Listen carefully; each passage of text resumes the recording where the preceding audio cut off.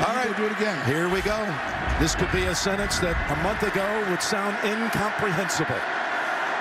From 31 yards, McPherson. And Cincinnati is heading to the Super Bowl. He called it again, I'm sure. He walked up and he goes, Can you believe, coach?